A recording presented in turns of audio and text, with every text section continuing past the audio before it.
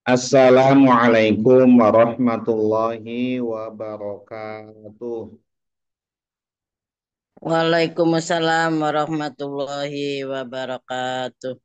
Bismillahirrahmanirrahim. Alhamdulillahi rabbil alamin wa bihi nasta'in ala umuri dunya waddin.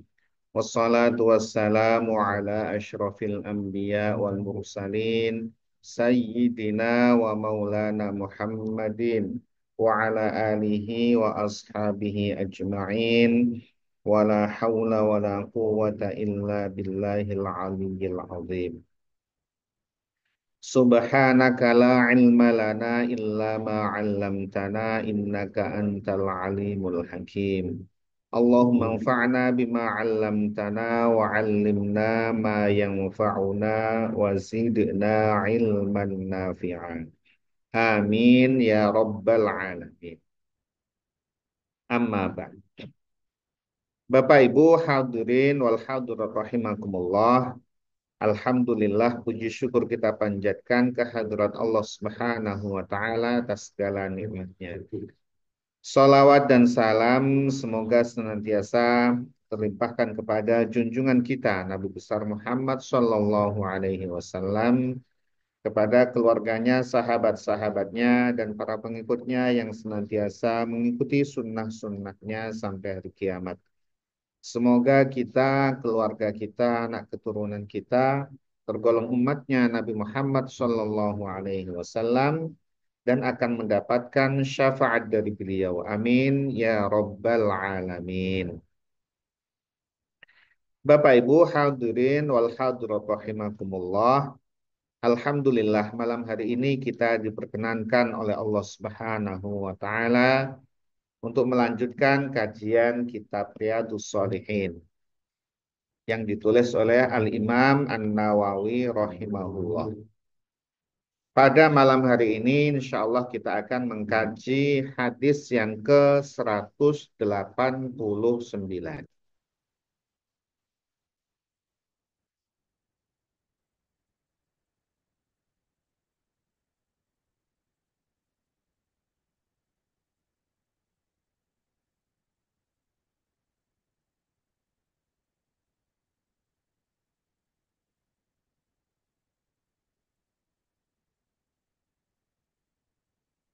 Bismillahirrahmanirrahim. Qala al-muallif rahimahullahu taala wa nafa'na bihi wa bi'ulumihi fid daraini amin. Ar-Rabi'u hadis yang keempat dari bab ke-23 atau urutannya 189 dari hadis yang pertama. Dari bab pertama.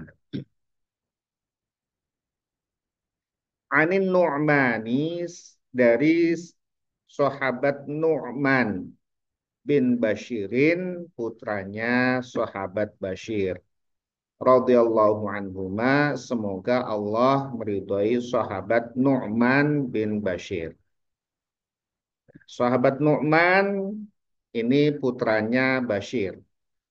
Ya. Nah, beliau kemudian uh, adalah putranya Sa'ad ini. Bashir, putranya Sa'ad, putranya Sa'labah bin Julas. Idhamil jim wa takhfifil lam. Jadi Julas. Ini uh, apa? Moyangnya dari Sayyidina Nu'man Kemudian bin Badr bin Malik bin Sa'labah bin Ka'ab bin Khazraj al-Khazraj al-Ansari yaitu termasuk sahabat uh, Ansor dari kalangan Khazraj. Jadi tertulis itu nih uh, silsilahnya. Sahabat Nu'man dan ayahnya adalah dua sahabat Nabi ya Muhammad Shallallahu Alaihi Wasallam. Maka disebut radhiyallahu anhumah. Nah, ayahnya sahabat Nu'man ya, itu adalah Bashir itu mengikuti Bai'ah Aqabah yang kedua dan juga mengikuti perang Badar, perang Uhud dan perang-perang bersama Nabi Muhammad Shallallahu alaihi wasallam mengikuti perangan. Nah, sedangkan sahabat Nu'man ini putranya sahabat Bashir ini masih masih kecil. Ya, termasuk juga sahabat Bashir ini ayahnya Nu'man juga mengikuti peperangan bersama Khalid bin Walid sepeninggal Nabi yaitu pada masa Sayyidina Abu Bakar As-Siddiq. Dan sahabat Nu'man itu lahir pada bulan keempat setelah hijrah. Jadi masih eh, bayi gitu ya. Empat bulan setelah hijrah baru lahir. Nah, beliau adalah termasuk ya anak yang dilahirkan dari golongan Ansor setelah hijrahnya Nabi. Jadi yang termasuk apa ya generasi yang baru lahir begitu. Beliau meriwayatkan dari Rasulullah Shallallahu Alaihi Wasallam hadis sebanyak 114 hadis. 114 hadis di mana lima di antaranya adalah sepakat Imam Bukhari dan Imam Muslim. Kemudian Imam Bukhari sendiri adalah satu hadis dan Imam Muslim ada empat hadis. Itu sekilas riwayat dari sahabat Nu'man bin Bashir. Anin Nabi Sallallahu Alaihi Wasallam dari Nabi Muhammad Sallallahu Alaihi Wasallam. Kala beliau bersabda. Masalul qaimi fi hududillahi wal waqi'i fiha kama sali qaumin istahamu ala safinah fasara ba'duhum a'laha wa ba'duhum asfalaha Masalul qaimi perumpamaan. Kalau di redaksi yang lain disebut mithlul qaimi. Jadi ini masalul qaim. Perumpamaan orang yang menegakkan ya fi hududillahi yaitu adalah hukum-hukum Allah, menegakkan hukum-hukum Allah artinya tidak berani melanggar ketentuan-ketentuan yang diharamkan Allah Subhanahu wa taala. Batas-batas yang diharamkan oleh Allah Subhanahu wa taala. Wal waqi'i dan orang yang melanggar, orang yang terjerumus, orang yang jatuh fiha pada batasan-batasan Allah. Artinya jatuh terjerumus ke dalam apa? keharaman. Jadi perumpamaan orang yang menjaga diri dari yang dilarang oleh Allah Subhanahu wa taala dan orang yang terjerumus pada hal yang diharapkan oleh Allah Subhanahu wa taala, pada hal yang dilarang oleh Allah Subhanahu wa taala adalah kama sali qaumin seumpama kaum. Kaum itu berarti banyak orang ya istahamu yang mereka mengadakan uh, undian atau ya pembagi pembagian. Tapi dalam hal ini adalah undian.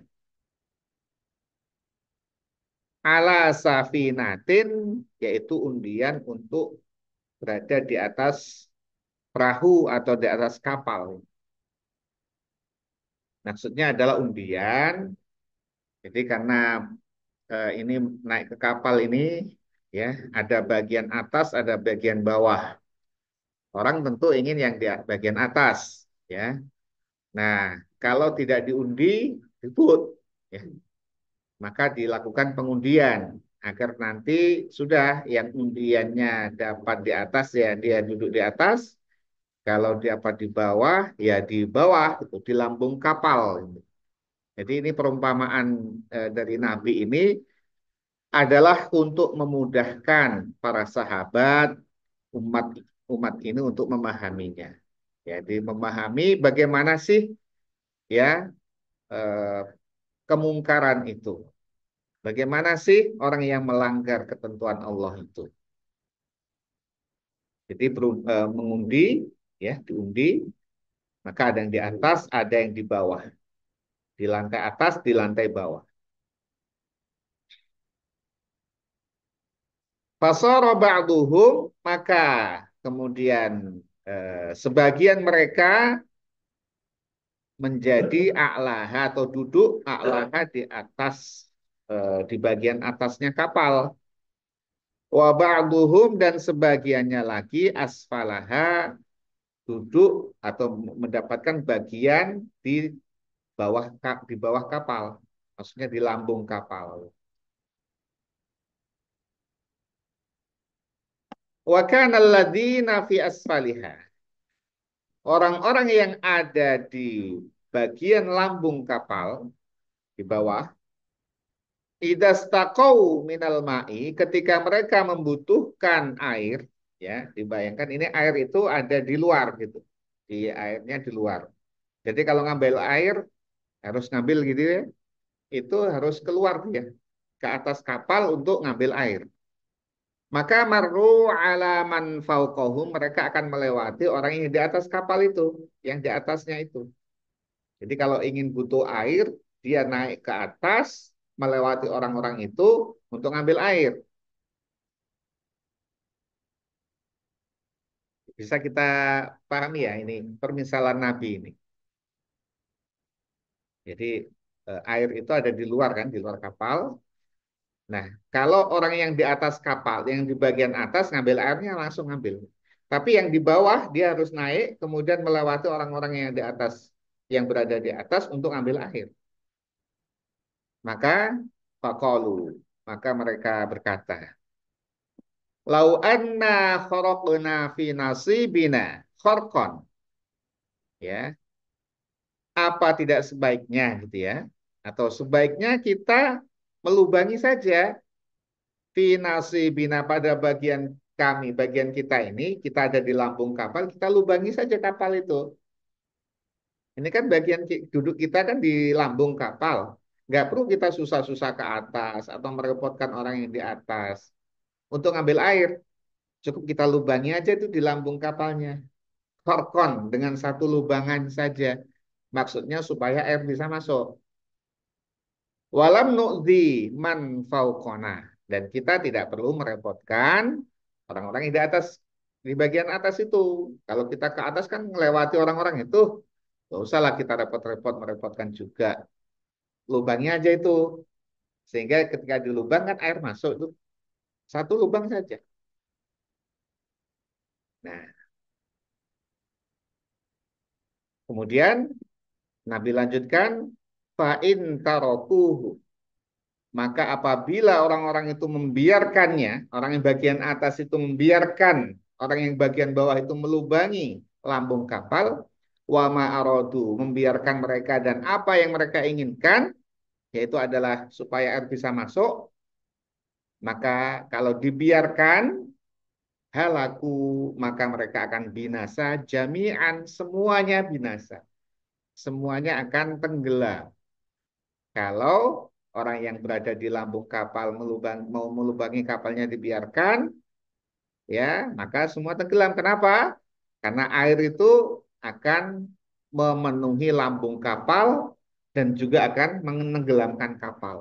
Sehingga orang yang melubangi celaka, orang yang di atas tadi juga celaka. Binasa. Tenggelam maksudnya itu.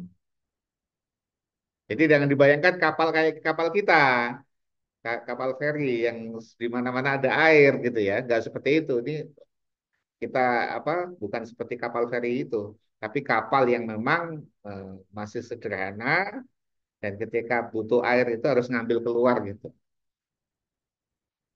Tapi wa in akhadhu apabila mereka ya berupaya ya maksudnya adalah beraksi ala aidihim untuk me memegang tangannya atau mengendalikan tangannya atau mencegah upaya mereka itu untuk melubangi kapal itu najau maka mereka akan selamat Wana jauh dan akan menyelamatkan ya jami'an semuanya.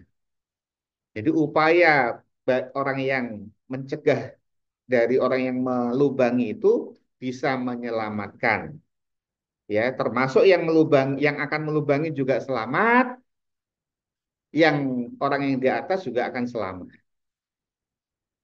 Rawahul Bukhari meriwayatkan hadis tersebut adalah Imam Bukhari.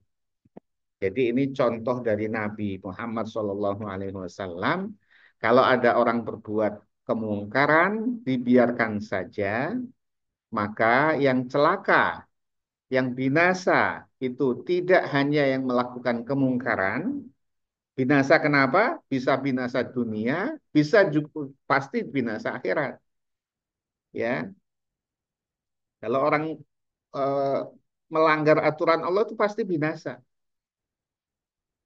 Karena yang dilarang Allah itu pasti madorot bagi manusia. Pasti itu. Allah melarang untuk minum-minuman keras. Ya, kenapa? Minuman keras madorot bagi manusia. Haram. Kalau dilanggar, binasa dia. Jadinya apa kalau minuman keras terus-menerus? Ya, bisa rusak lambungnya, bisa rusak akalnya, celaka dia dan akhirat pasti celaka zina berhubungan eh, bebas begitu free sex pasti celaka itu akibatnya terjadilah penyakit-penyakit kelamin HIV tuh ya jadi Allah itu sudah punya aturan-aturan yang apabila aturan itu ya perintahnya dilaksanakan berakibat maslahat bagi umat, bagi manusia. Kalau larangannya dilanggar berakibat mafsadat, berakibat bina kebinasaan bagi manusia. Jadi kalau mau selamat gampang, ikuti perintah Allah, tinggalkan larangan Allah. Selamat itu. Karena saking cintanya Allah kepada manusia, maka Allah tentukan ini loh yang boleh, ini yang jangan, ini boleh, ini jangan. Yang dicegah, yang di yang dilarang Allah jauh lebih sedikit daripada yang diperbolehkan oleh Allah. Minum-minuman keras dari sisi jenisnya pasti jauh lebih kecil daripada minuman yang dihalalkan Allah Subhanahu wa taala. Untuk bikin minuman keras itu harus butuh upaya ya membuatnya. Mendapatkannya pun harus dengan biaya bahkan tidak jarang itu mahal. Tapi minuman yang halal masya Allah hujan ya. Halal itu. Kemudian air banyak air laut disuling bisa menjadi air tawar bisa diminum air itu air putih gitu ya halal bikin apa lagi? Teh manis ya. Teh macam-macam ada teh tarik, ada kopi ya. Ada air kelapa ya. Yang jenisnya halal itu jauh lebih banyak daripada yang jenisnya haram.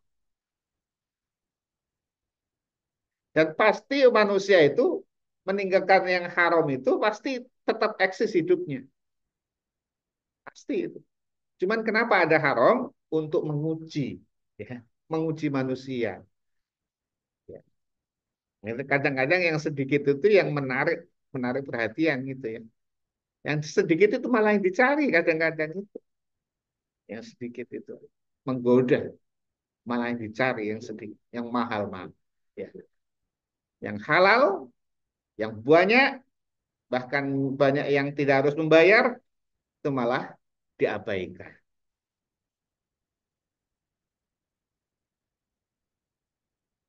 Jadi kalau di suatu kampung, di suatu pemukiman, misalkan itu ada yang kumpul kebo, misalkan, ya, kumpul kebo, kemudian dibiarkan saja. Itu sama dengan ini. Kenapa kumpul kebo itu dibiarkan saja akan membinasakan satu kampung itu?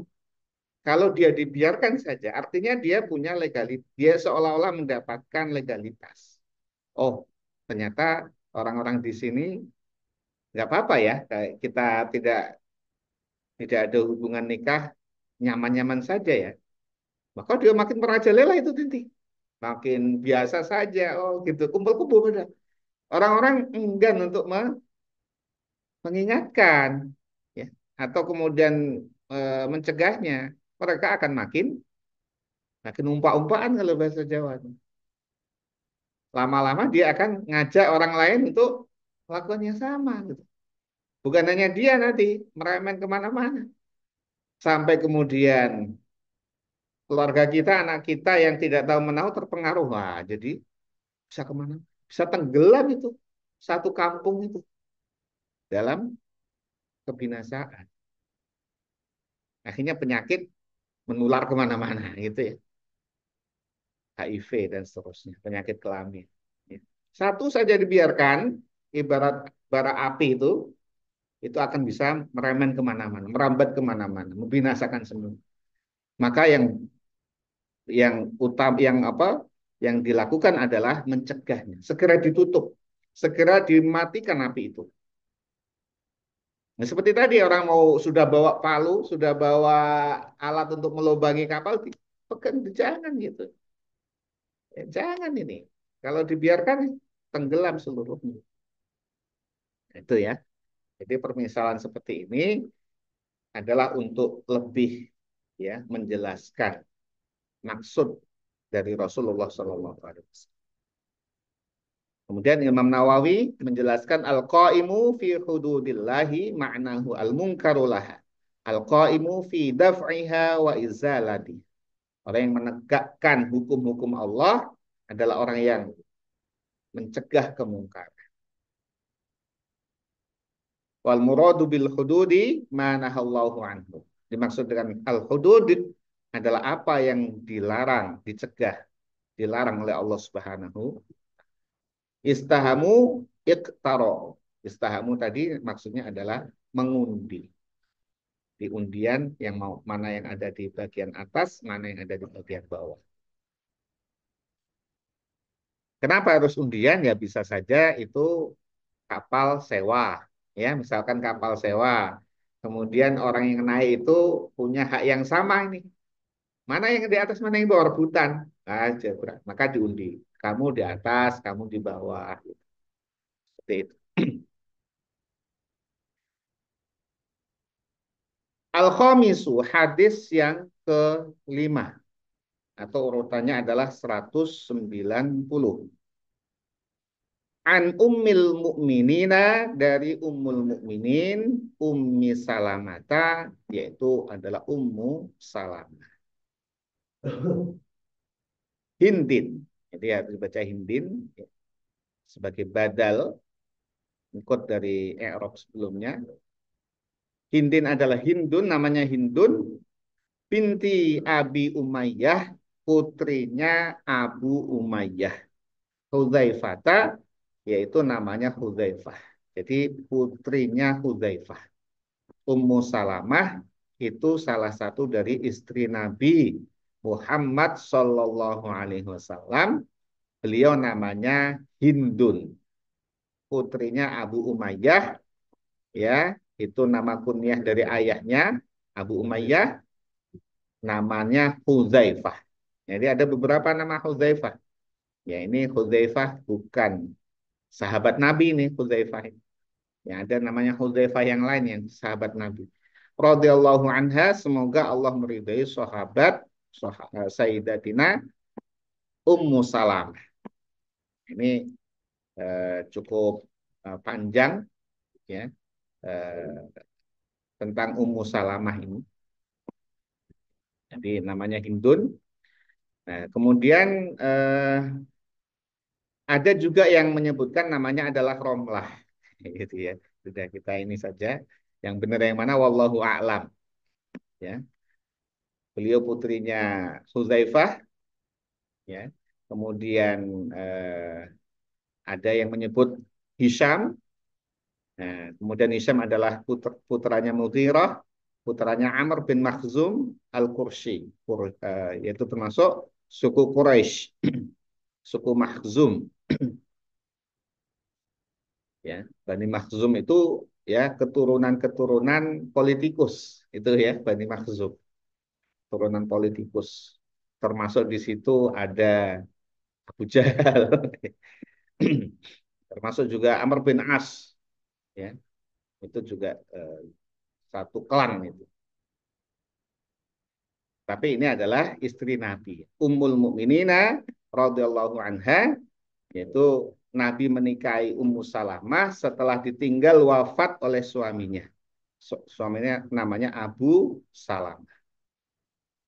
Jadi termasuk ini tuh ya maaf kata ini janda ya jandanya Abu Salamah. Dan ketika Nabi menikahi Ummu Salamah itu ya sudah punya banyak anak ini ya. Jadi dia tidak tidak serta merta dikatakan Nabi itu ya hipersek dan seterusnya tidak ya.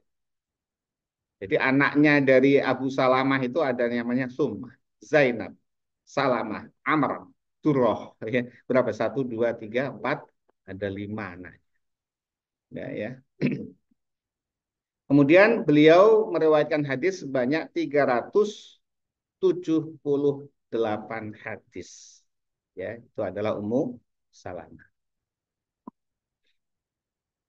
Ya kita membaca sahabat-sahabat Nabi ya membacanya saja insya Allah menjadi menjadi keberkahan bagi kita. Orang-orang soleh.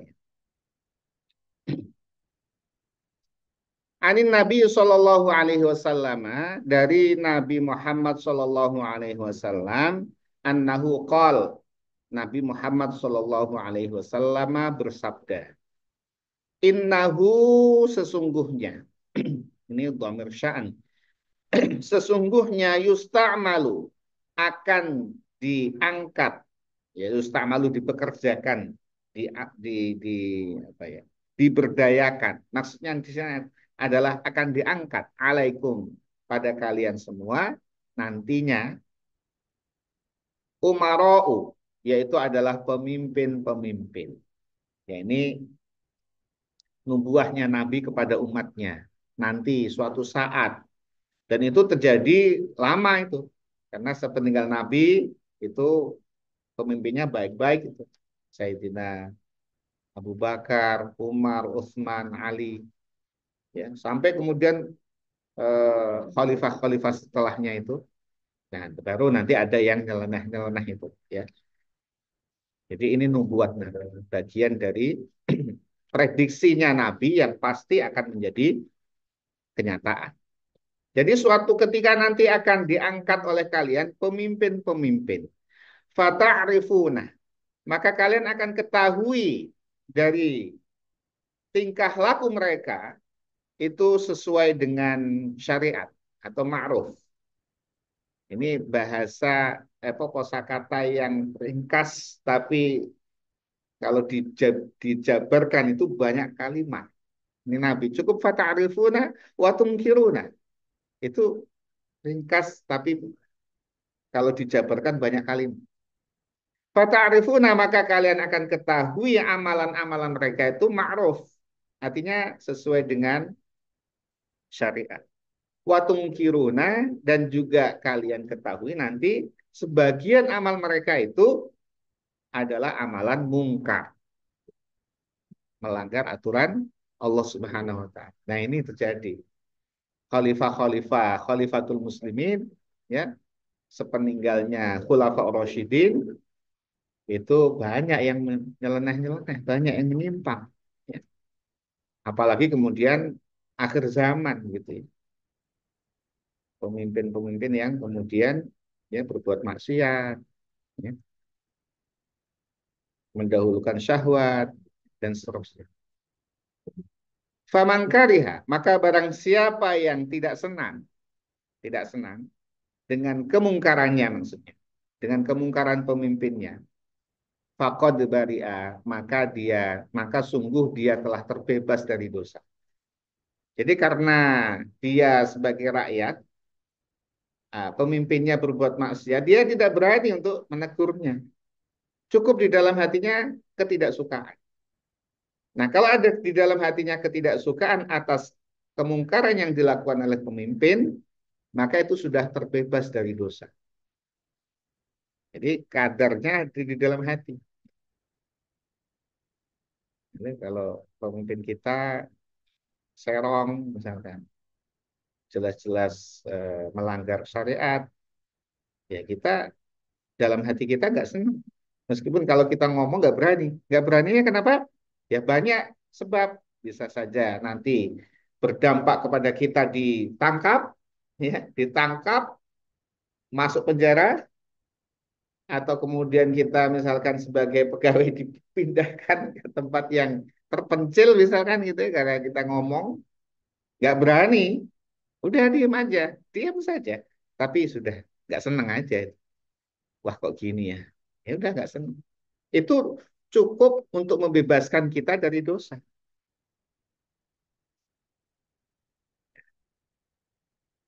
Waman angkaro dan barang siapa yang ingkar fakod salima maka dia selamat. Artinya akan tidak ditanyakan lagi di akhirat. Jadi sebagaimana hadis sebelumnya kan, kalau ada kemungkaran itu tiga yang pilihan yang dilakukan. Pertama dengan tangan, mampu nggak? Nggak mampu. Dengan lisan, mampu nggak? Nggak mampu misalkan. Dengan hati, Nah, tetapi walakin, tetapi man, siapa yang rodia dia ridho, dia itu nyaman, senang, bahkan wataba, bahkan mengikuti, ya, mengikuti kemaksiatan pemimpinnya.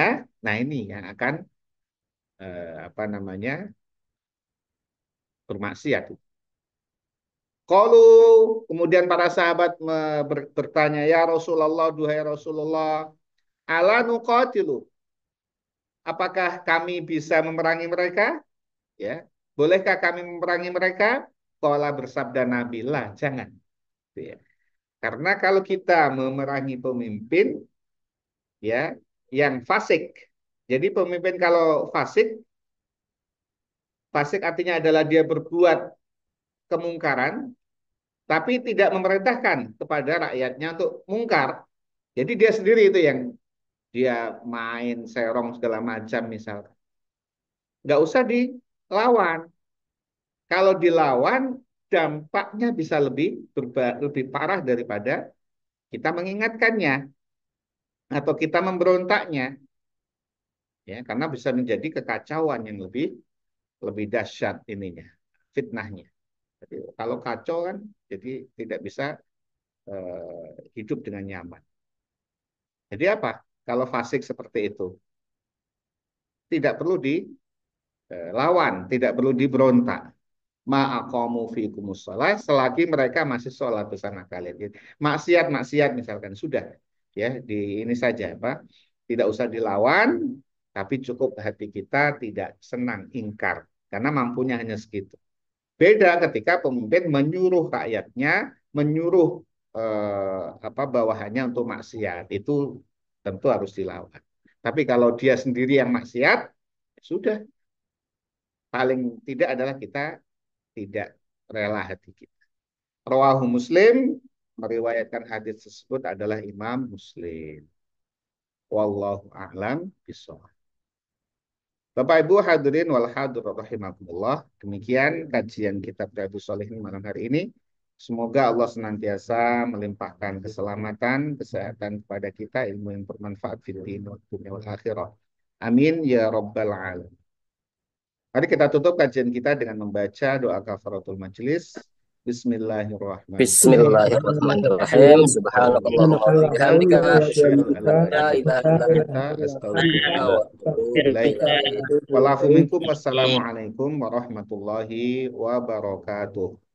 Waalaikumsalam warahmatullahi wabarakatuh. Terima kasih Pak Ustaz. Selamat semuanya.